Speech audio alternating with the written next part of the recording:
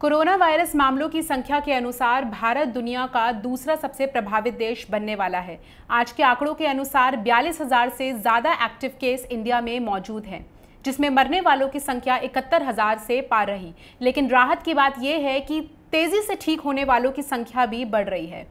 केंद्र सरकार के आंकड़ों के अनुसार पिछले 24 घंटों में नब्बे हज़ार से ज़्यादा नए मामले दर्ज किए गए हैं। भारत में पिछले कुछ हफ्तों से डेली अस्सी हज़ार से ज़्यादा नए मामले सामने आ रहे हैं। देश में कुछ प्रमुख राज्यों का यू रहा हाल। महाराष्ट्र में नौ लाख सात हज़ार दो सौ बारह केस एक्टिव। आंध्र प्रदेश में चार लाख अट्ठानवे हज़ार एक सौ पच्चीस केस। तमिलनाडु में चार लाख तिरसठ हज़ार चार सौ अस्सी मामले। देश की राजधानी दिल्ली में एक लाख इक्यानवे हज़ार चार सौ उनचास कोरोना के मामले।